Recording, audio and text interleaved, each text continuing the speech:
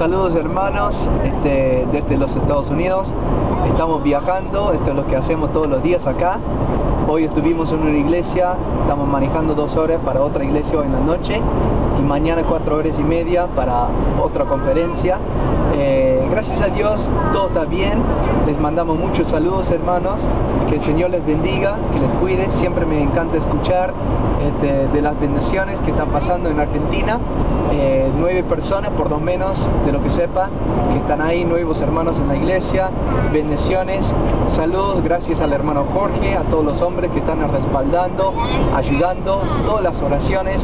Adelante hermanos, amén y amén.